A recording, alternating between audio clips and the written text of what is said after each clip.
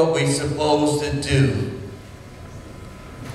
and lift everybody up, take people to the polls to vote. Because our fathers and foreparents fought too hard for us to sit on the sideline. So let's get out and vote. Amen? Thank you.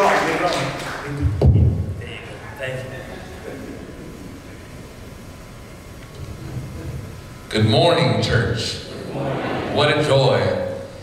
Uh, I'd be remiss if I didn't mention that my son, Ezra Stone Diaz, is with us this morning. And if you can stand up, son, say hello. Uh, it is good to be back in the house of the Lord. You can sit down, buddy. Thank you.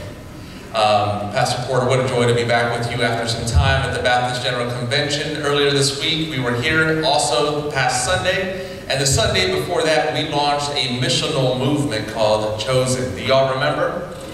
Well, the time has come for those of you who said, I want to be chosen by a little boy or a little girl, the time has come for you to see who chose you. And so today we will celebrate in the fellowship hall the, the revelation, the reveal of the little boy or the little girl that chose you. I also want to say that 24 children in Mozambique walked down a red carpet, saw your faces, and decided to step into a relationship with you. And so we're excited, yes, we're excited to see who those little boys and girls are, but we're also excited to see why they chose you. And so Inside of the envelope, which we will hand you at the fellowship hall, there's a little link that will take you to a website where you can actually download the letter that this little boy or little girl wrote to you. And they're going to tell you why they chose you. And those are precious moments. I also just want to say thank you. Thank you. I don't want to be like the lepers who did not come back to say thank you to Jesus. Um, our ministry depends on the generosity of Christians around the world. And so you join as a congregation millions and millions of Christians who have decided to put their faith and their hope into practice and to say, I can live my life on behalf of others, in service of others, because someone other than me, his name is Jesus, did something for me that I could not do on my own. Yeah. And so today we celebrate that we are able to do for others what they could not do for themselves. And so I hope that you join me in the fellowship hall to celebrate this afternoon. Thank you once again, Pastor Porter. And Minister Diaz and Minister Shannon, they were with us at the Baptist General Convention this past week. So they had an opportunity to uh, present and also to meet with pastors and messengers from all over the state. We had a wonderful uh, celebration. We had a good time at the BGC. And during that time, uh, our own Reverend Dr. Johnny E. Hopkins was recognized. If you can stand up, Dr. J.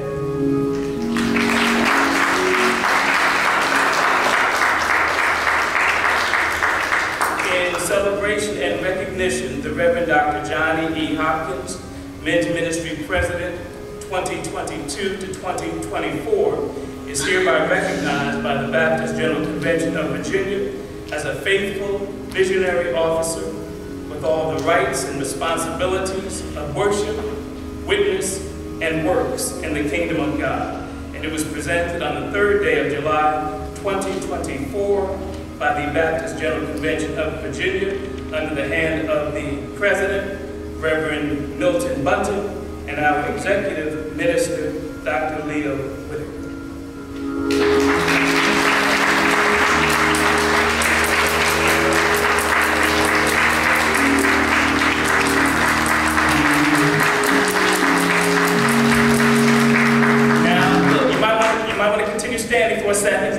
because he was also re-elected as president of the men's division.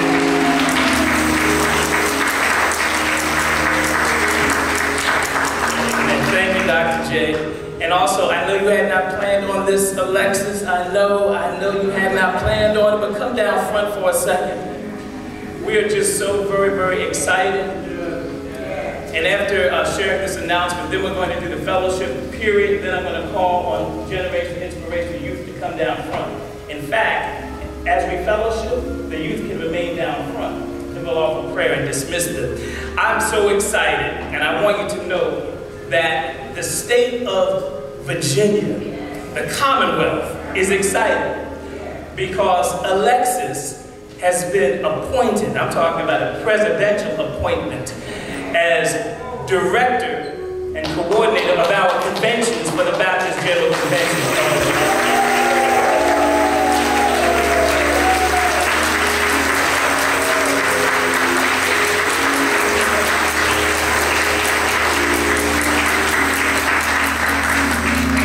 So look, we are, we are very proud of you. We're excited for you. And I want you to know, Alexis, folk have already been lining up to work with you. So that is a great thing. Uh, look, Deacon Mildred West is here.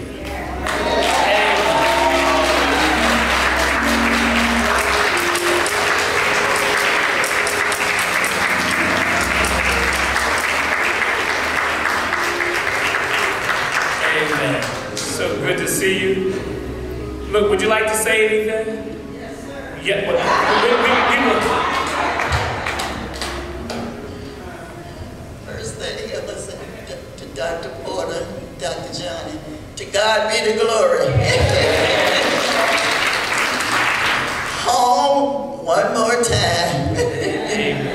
It is just so good to be home. My daughter asked me yesterday, she said, Mom, are you going to Queen Street tomorrow? I said, if good Lord willing and the creek don't rise. but I, I can't count on what I can do from one day to the next. I don't even know how I'm going to feel. But praise God, I feel good today. I'm like Johnny Brown, I feel good. give all honor, all glory to God, my Father. He's the one that gives me the strength to move. I might not be moving fast, but praise God, I'm moving. And I'm looking at you, and you're not viewing me. You know, we don't know how many more days have in front of us. We know what we have behind us. So it behooves each one of us to take each day as precious as it is because you close your eyes tonight, you may wake up on the other side of glory in the morning. So I just praise God. So if I close my eyes and I don't wake up on this side, just meet me on the other side. I'll be waiting on you.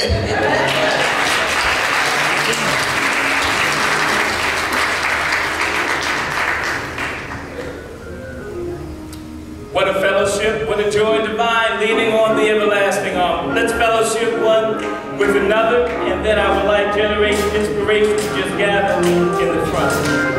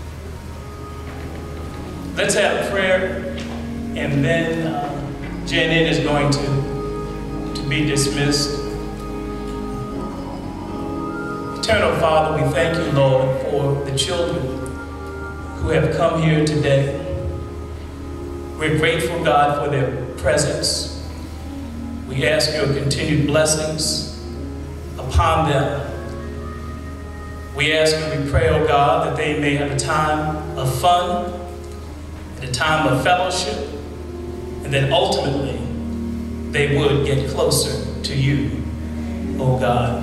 We pray in Christ's name. Amen.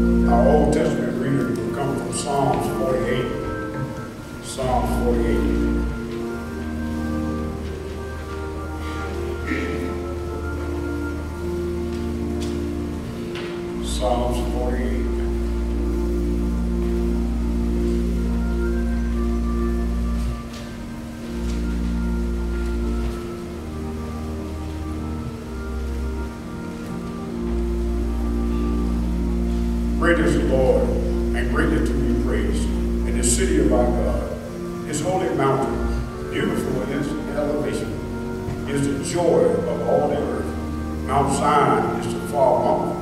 I'm sorry, Mount Zion is in the far north, the city of the great king. Within the citadels, God has shown himself a sure defense. Then the kings assembled. They came all together. As soon as they saw it, they were astonished. They were in panic. They took to flight. Trembling took hold of their Pains as a woman in labor. And when east wind shatters the ships of Tarsus. as we have heard, so have we seen in the city of our Lord of hosts, in the city of our God, which God establishes forever. We ponder your steadfast love, O God, in the midst of your temple. Your name, O God, like your praise, reaches to the ends of the earth. Your right hand is filled with victory. Let Mount Zion be glad. Let the towns of Judah rejoice because of your judgments. Walk about Zion. Go all around it. Count its towers. Consider well the ramparts. Go through the citadels, that you may tell the next generation that this is God, our God forever and ever. He will be our God forever. And that last verse says, our God, say, tell them, tell them, the next generation, that this is God, our God forever and ever. He will be our guide forever. Amen. All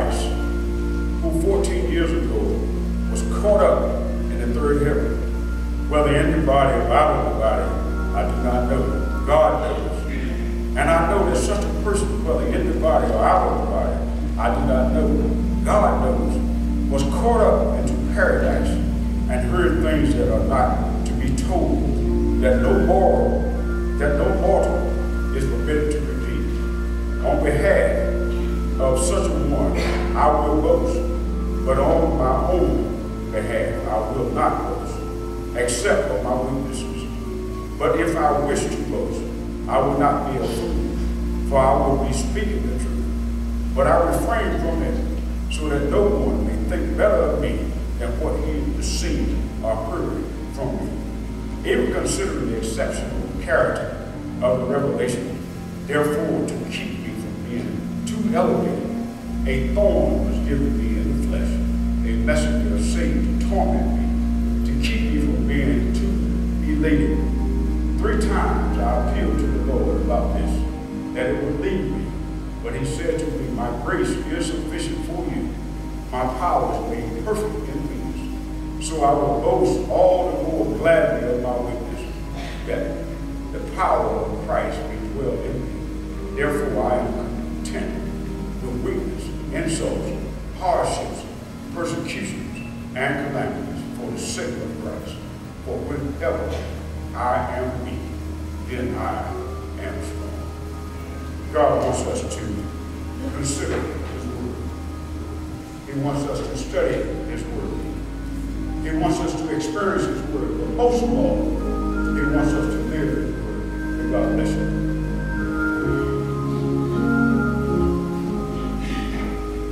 Thank you, Dr. J, for sharing the scripture.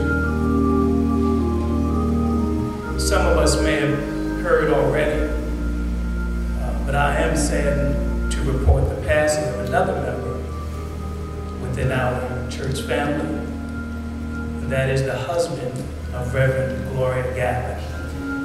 Uh, Fred uh, Ken Gavin uh, passed the other day. And so it was sudden. It was a shock. So we need to keep the family Even as we prepare now to go to the Lord in prayer, uh, we want to keep the family in prayer. We understand that there is power in prayer. We understand that we have an opportunity to go to the Lord in prayer. I'm trying to invite you, Elder, that we have an opportunity to lift up our concerns to the Lord. Prayer is an opportunity us to speak to God. Uh, certainly, we know that we can go into our own prayer closets. But there's something about coming together, touching, and agreeing about being on one accord. We know there is power in prayer. And certainly Reverend Gavin is not the only one who's in need of prayer today. I believe there are persons all over the house today, me included. Not my brother, not my sister, but it's me, Lord standing in the need of prayer. The elder this morning is going to lead us to God's throne of grace. Let's all bow Oh Lord, our God, how good and how sweet and how precious it is to gather in this house in your presence one more time. Where we can lay down our burdens of this life and lift up your name, praises and in worship, in spirit and in truth. On this beautiful Lord's Day, you've been so good, so kind, so merciful. You kept a hedge around us all week. As a matter of fact, you kept a hedge of protection around us from our earliest existence right to this present time. Thank you, Lord. You provided us with all the necessities of life. Thank you, Lord. You made ways for us during hard times. Thank you, Lord. You continue to give hope, help, joy, and peace in this turmoil of this dark world. You're the source, Lord, of our strength. You're the bridge over the troubled waters of this life. Thank you, Lord. We thank you, Lord, for your sacrificial and your everlasting love, your abundance of grace and mercy, your great faithfulness toward us. You came down through 40 and two generations for our salvation. Thank you, Lord. You've been our dwelling place during the trials and tribulations and the raging storms of this life. Now, Lord, we confess that we are unworthy of all of the blessings, but we are sure enough grateful. And then, Lord, we come lifting our spirits to your high and your Holy Spirit, praying that uh, you would forgive us of all of our failures, our shortcomings, and our many sins, sins of commission and sins of omission. Lord, keep us in your care. Help us to live and walk in your word and in your path of righteousness. Then, Lord, we pray that you will bless us at our work as a church. Make us a light in the darkness, an inspiration for our communities, a source of help and hope for the down and out, and be a greater blessing on Hamilton Avenue. Then, Lord, be are most mindful that all good perfect gifts come from you, and it is of our own, your own, that we give back to you. Thank you, Lord, for the resources that you blessed us with and bless those who made sacrifices for the cause of our mission and ministries. We thank you, Lord, for our leadership. Continue to give him strength, fortitude, clear vision, and wisdom. Then, Lord, bless his family with health, joy, and peace. And our Lord, we approach this communion period today. Prepare our hearts and our minds for this memorial meal with each other and forgive each other of our trespasses against each other, lest we forget the sacrificial love you have for us in spite of ourselves. Lord, bless our children and make this event meaningful in their lives. And as they grow in age, we pray they will grow in your grace. Lord, make us a blessing to the many, many, many less fortunate than we are. You know who they are, where they are, what they stand in need of. We have sick, bereaved, those who are troubled by nature, the storms of nature. And then, Lord, there are those who are down and out, and they are victims of war all over. Let them know, Lord, that you are more than sufficient for all of their needs. And make us, Lord, a blessing to them in every way possible. Then, Lord, we pray and ask a special anointing of your Holy Spirit upon our state and our national leaders. Place those, Lord, who know you in our government and our leadership positions. Lord, save our democracy, save America. Most of all, Lord, let your will be done. These are our petitions, these are our supplications, and this, Lord, is our most earnest prayer in that matchless, that miraculous name of Jesus. Amen.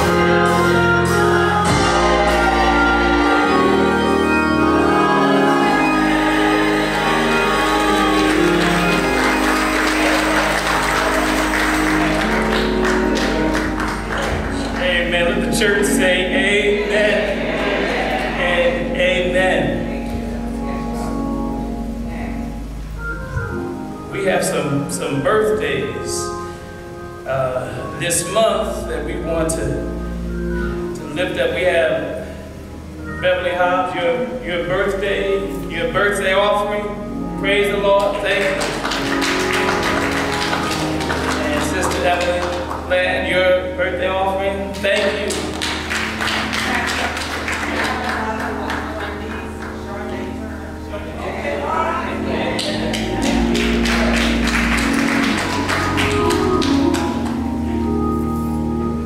All right, look, we haven't said we haven't sang happy birthday in a while. I know we have some other July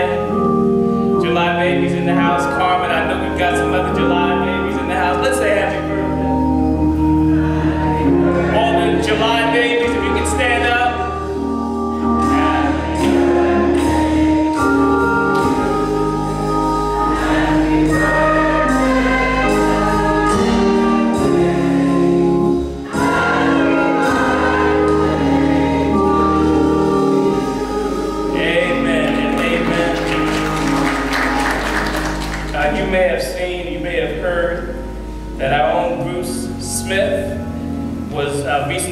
recognized, amen, as Norfolk's first citizen.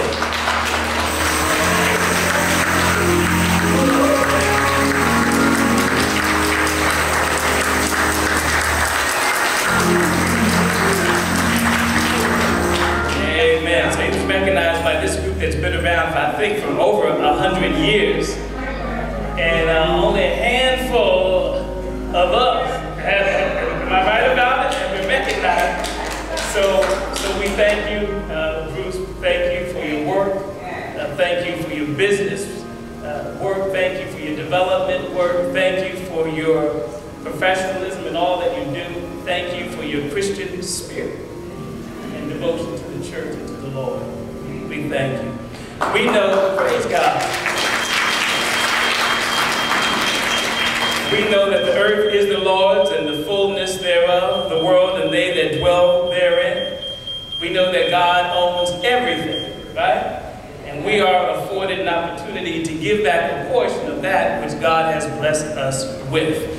So we're going to ask if the diaconate would move into position so that we might be able to share through our giving.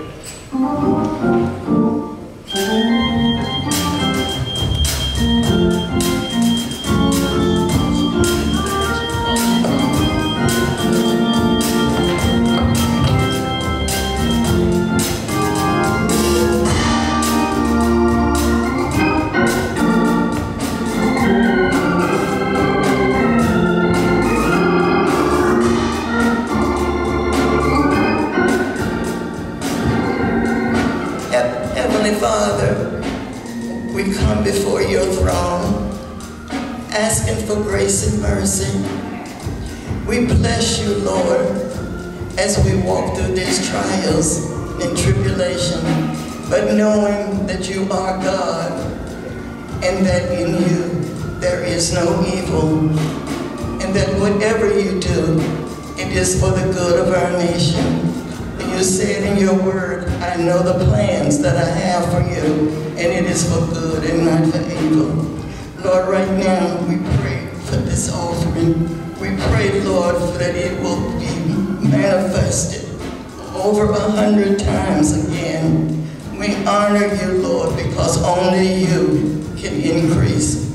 We can plant, and we can water, and we can weed, but only you can give the increase. And for that, Father, we say thank you.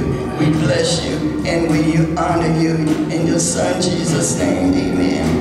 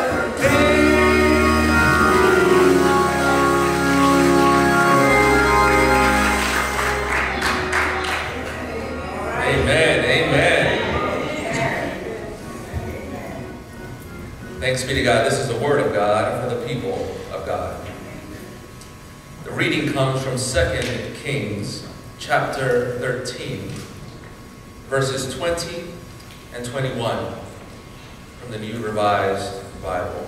2 Kings chapter 13, and verses 20 and 21. So Elisha died and they buried him. Now bands of Moabites used to invade the land in the spring of the year. Verse 21.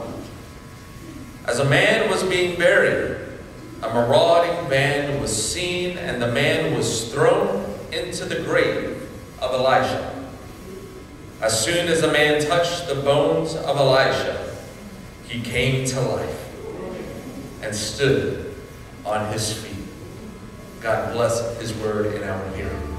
Amen.